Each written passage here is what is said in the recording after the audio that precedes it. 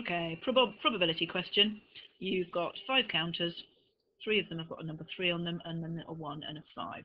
And the important thing here is that you are removing um, the counters from the bag without replacement. So if you've taken out this three, you then can't take it out again. Or if you've taken out this five, you can't take it out again. First of all, um, we're going to, I think, use a tree diagram to show the probability that both of them have a number three on them. So you take out two counters. The first counter could either be a three or not a three. And the probability that the first counter you take is a three is three out of five. So the probability of it not being a three is two out of five. We don't even need the whole tree diagram here. All I'm interested in, interested in is the probability of having a three followed by a 3. So the probability that I now get a counter which is a 3, and that's the second counter that I take, well, if I've already taken out a 3, that's effectively that one has now gone, the probability of now getting a 3 is just 2 out of 4. And if I want to work out the probability of getting a 3 and then a 3, all I need to do is multiply together along the branches. So it's just going to be 3 out of 5 times 2 out of 4, or 2 out of 4 is just 1 out of 2. To multiply the fractions then, 3 times 1 is 3, 5 times 2 is 10, so the probability of getting a 3 and a 3 is 3 out of 10. You might also have that as 6 out of 20, that would be equally fine if you didn't cancel at this stage. Next part says, what's the probability that the sum of the numbers on the two counters will be 6? And what we now need to think about is the different ways in which that would happen.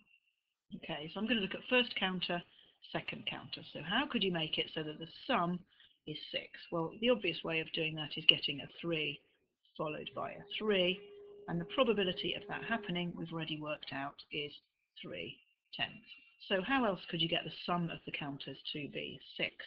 Well, you could get a 1 followed by a 5. Now the probability of getting a 1 is going to be 1 out of 5 multiplied by the probability of getting a 5. Well, if you've already taken out a 1, effectively what's happened then, if you take out the 1 first time, then the probability of getting a 5 then is just 1 out of the remaining 4. So in other words, you would do a fifth times a quarter, which is 1 20th. You could also, though, get a 5 followed by a 1. Now again, that's going to be a fifth times a quarter, which is 1 20th. And if I want to work out the probability, and there's, no, there's actually no other way of getting a total to be 6, you either get a 3 followed by a 3, or a 1 followed by a 5, or a 5 followed by a 1.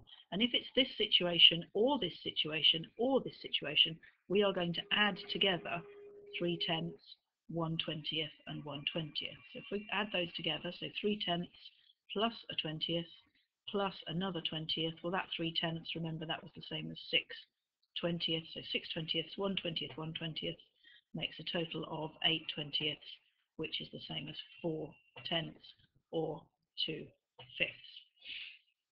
Now there's another way that we could have done this second question. We could have used a possibility space diagram where um, here we have the first um, counter that's chosen and down the side we have the second counter.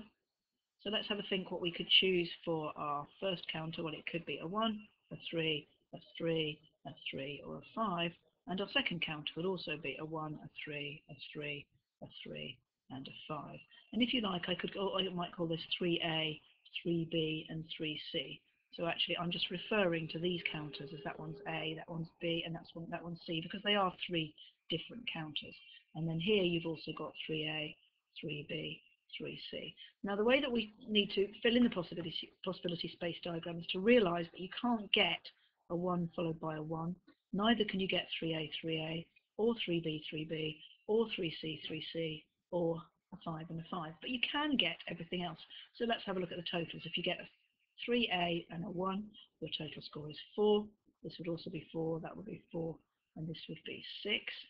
Here, total score is 4, and then it goes 6, 6, and then 5 and 3 is 8. 3 and 1 is 4, 3 and 3 is 6, 3 and 3 is 6, 3 and 5 is 8, 3 and 1 is 4, 3 and 3 is 6, 3 and 3 is 6, 5 and 3 is 8, uh, 5 and 1 is 6, 3 and 5 is 8, 3 and 5 is 8, 3 and 5 is 8. So in other words, there are, well, there would have been 25 different possible outcomes, removing these five because these are impossible, there are 20 possible outcomes. So the probability of getting a total score of 6 is 1, 2, 3, 4, 5, 6, 7, 8. 8 out of 20, so the same answer as we got here, which again simplifies down to 2 fifths.